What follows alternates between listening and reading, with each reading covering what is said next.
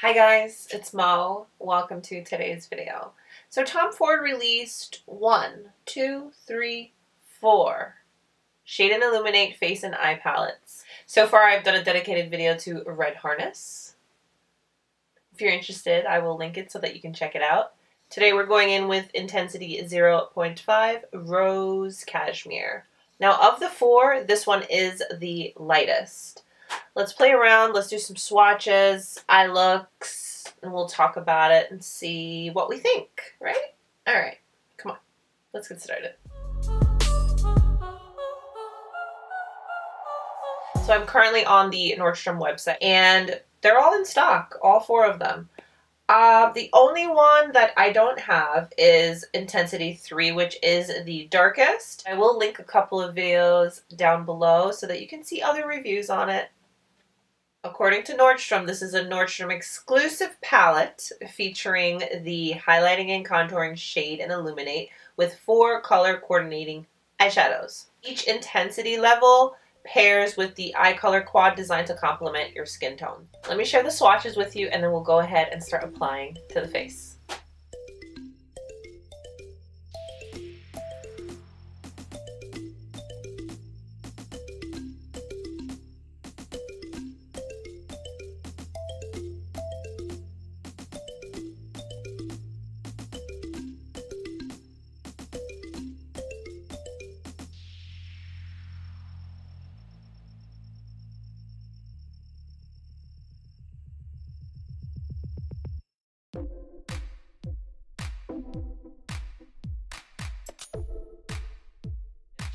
Package is really beautiful. It's on par with what we've come to expect from Tom Ford. Very nice quality. It's the traditional color story. You do lift here to open. You do get a really nice quality mirror. Personally, I like these types of palettes because it's a one and done. Pretty much everything you need all in one. This is a fingerprint magnet, but just take the pouch and clean her off and she's shiny and new. So I'm wearing a new foundation cocktail, trying it for the first time, and I really want to share it with you really quick, and then we'll get started.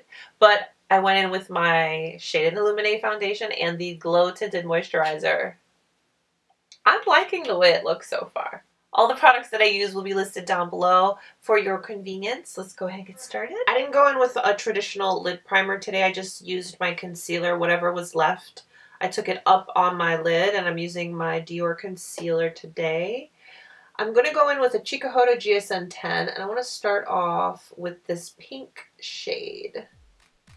Taking that shade and I'm going to apply it directly in my crease.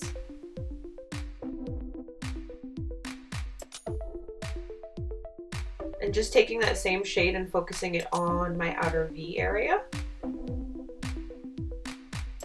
This shade can totally be a all over shade. Call it a day.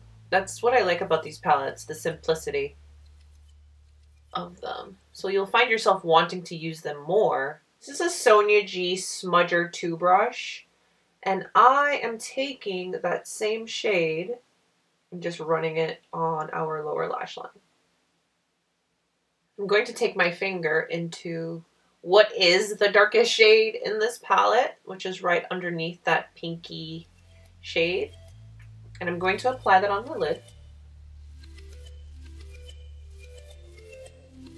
These shadows do apply very nicely with a brush, but I like the whole finger method. Just going back in to my crease area so that everyone is blended nicely. going in with this shade. It's a little more champagne. And I'm going to apply it to the beginning portion of my lid, blending it into the darker mm. one.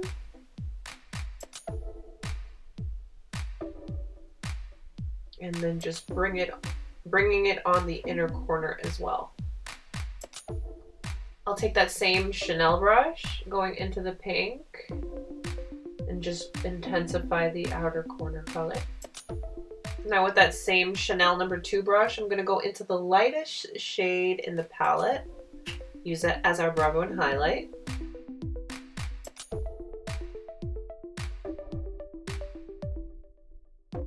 One look is down. Let's do another look. For my skin tone, this shade right here it's too light. It's not going to work as a contour for me. Go in with a fluffy brush. This is my Wayne Goss number three. And I'm going to apply that as a transitional shade in my crease.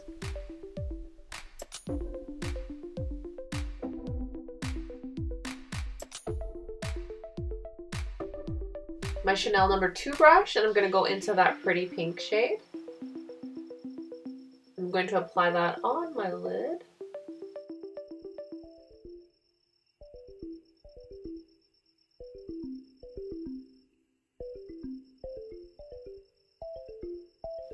Into the highlighting shade. We're going to use that as our inner tear duct highlight. Sonia G Smudger 2 and taking that pink shade down on the lower lash line. Do a little brow bone highlight with that lightest shade. Going in with a brown liner. This is Christian Louboutin and Zulu. I'm just waiting for this lovely mishap to dry and then I'll flake her off. But I went in with the Chantecaille on my upper lashes from my lower lash line. I'm going to go in with my Gucci mascara. I want to use them both and they take turns. Sometimes I use the Gucci on top and then the Chantecaille on the bottom. This is the Chantecaille brow gel. Just perfecting my brows while I wait for this thing here to dry. So this being the lightest of intensities when it comes to these face and eye palettes, I'm not going to be using the bronzer in here. What I'm going to do is I'm grabbing my red harness and I'm going to take the bronzer from that this is my Wayne Goss number 11. And I'm going to apply this as my bronzer.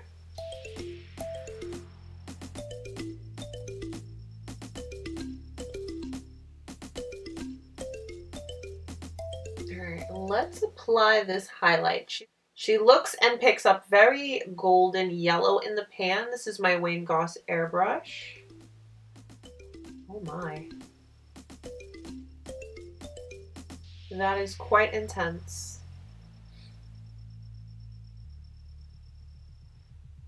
If that is the mood and look that you are going for, it is very achievable. I personally love Tom Ford's highlighting formula, but I went in with a little too much. So I'm just taking my foundation brush to try to calm this down a little bit. All right, so that's a lot better. For this side, I want to mix the lightest eyeshadow and the highlight together. Let's make a little cocktail. That's the fun of these palettes and all of your makeup. You can mix, match, and play with everything. I like that quite a bit. It takes Doing that has taken down the yellow quite a bit. Okay. What I'm going to do is I'm going to go into the pink shade. This is a Wayne Goss number 14. And I'm going to pick that up and use that as my blush.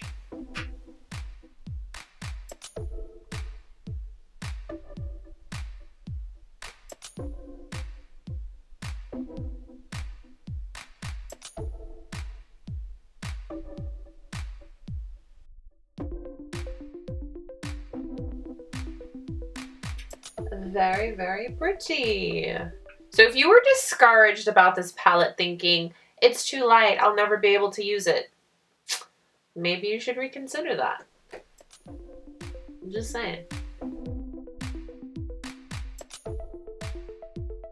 I like what we have here. We have a very soft, realistic look that I was able to get pretty much, almost, out of all of this. I'm going to go in with a lip cocktail since I'm in that kind of mood today. Mixing foundations, using eyeshadow as blush. so for that lip cocktail today, I'm mixing my Hermes and my Gucci lipstick. Again, all my products are going to be listed down below for you. The shape of this Hermes gives you that pencil-like application.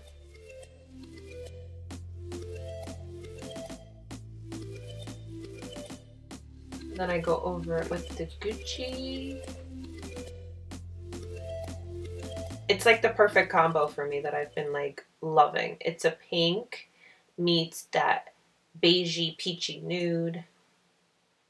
So this is my, hey, how are you? I'm at Target and I just wanted to be cute look. And then for this look, it's a little bit more dramatic.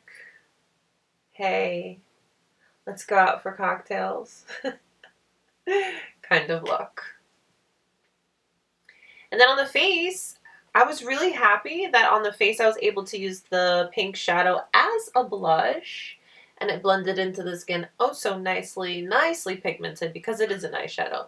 For this side we used the highlight and then for this side we mixed the lightest shadow and the highlight to kind of take down that yellow. How are we feeling? What are we thinking? Now, with my completed look, I love how soft and pretty it is. The intensity is the softest of the palettes, and I think it translates well. I know sometimes we get caught up with how pigmented something is and how dramatic something is. As a mom, as a kind of get up and go type of person, I don't always have time for a whole hour session to do a full glam look. And with something like this, I know it'll be quick and it'll be easy and I'll still look nicely put together. I personally think that this highlighter is very yellow. It's just very yellow. This is Moonlit Violet and this is Intensity 2. This is the next palette that I will be doing a dedicated video to. And then what I'd like to do once I have reviewed all three individually, I'd like to come back and talk about them all and kind of rank and compare and tell you which one I have found myself reaching for and using the most. But yes, that is it for today's video. Thank you so much for letting me share these Tom Ford Shade and Illuminate Face and Eye palettes with you. Don't forget to give today's video a thumbs up if you liked it. Subscribe if you haven't. Stay beautiful, guys. I will see you very, very soon. Bye.